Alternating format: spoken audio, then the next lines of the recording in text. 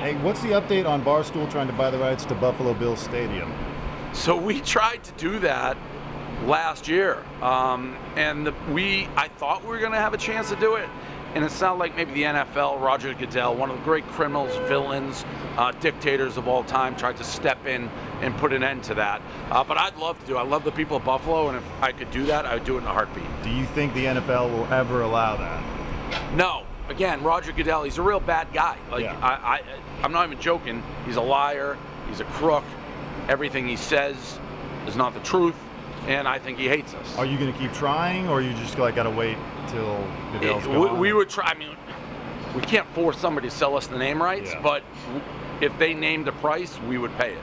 Are you still willing to sit down with Goodell and hash things out? Of course, I've always been willing to do that. What do you think about his handling of the, uh, the claims of racism in the NFL's hiring process?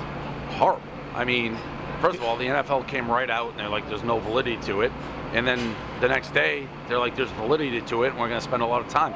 It makes no sense in a league predominantly with so many minorities, African Americans, that there's so few coaches, so few assistants. So something has to change. Yeah, I mean, he said he's going to reevaluate, you know, maybe even look at getting rid of the Rooney rule. What, what do you think?